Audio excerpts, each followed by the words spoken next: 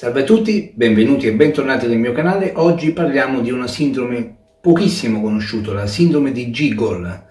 Cos'è? È, può far sorridere, ma non fa sorridere a chi succede, la, per la perdita di urine proprio con la risata. Ci sono delle condizioni in cui anche il giovane, l'adolescente, durante la risata ha una perdita urinaria involontaria, potete capire altamente imbarazzante socialmente e che può isolare la persona proprio da un contesto sociale per il grosso imbarazzo che può avvenire.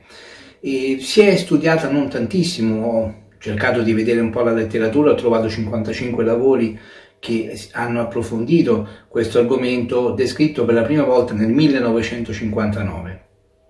Sindrome di Giggle, quindi perdita di urina con la risata, legata, quindi non confondiamola con la perdita di urina della donna di età più avanzata che magari ha partorito in menopausa, in cui il tono del pavimento pelvico della muscolatura perineale si è un po' indebolito, vi è una discesa della vescica, dal cosiddetto cistocele, lo sfintere esterno ha meno competenze e quindi durante il colpo di tosse la trasmissione della pressione addominale fa, induce una forzatura della vescica che non avendo la capacità di contenere, essendo lo sfintere al di sotto del controllo della muscolatura pelvica, si ha la perdita urinaria. Questa incontinenza da sforzo tipica, specie nella donna di una età intermedia o nell'uomo che ha subito interventi per la prostata o chiaramente patologie eh, dismetaboliche o neurologiche che riducono la competenza dello sfintere. Qui parliamo di un'incontinenza nel giovane dove il pavimento pelvico si dà per scontato che sia in piena efficienza.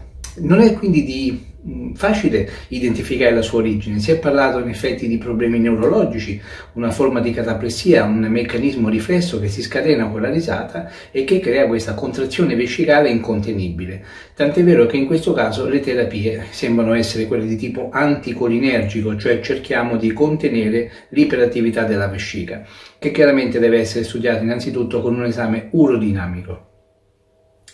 Una seconda ipotesi, e qui chiaramente ci riaffacciamo un po' a quello che ho detto un po' prima, eh, ci può essere qualche giovane, qualche giovane donna specialmente che ha un po' di debolezza del pavimento pelvico. Allora in questo caso sposteremmo la sindrome di Giggle quasi in un'incontinenza da sforzo.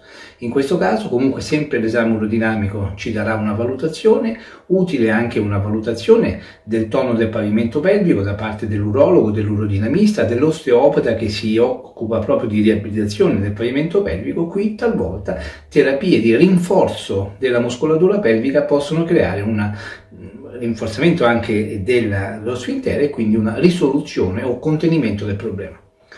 Sindrome di Gigolo, almeno adesso sappiamo cos'è, se lo troviamo scritto, spero che non eh, debba così entrare nelle famiglie di nessuno di noi perché sono problemi che specialmente in un giovane possono creare grosse problematiche poi di relazioni sociali. Con questo vi saluto, vi auguro a tutti una buona giornata e ci vediamo nel prossimo video.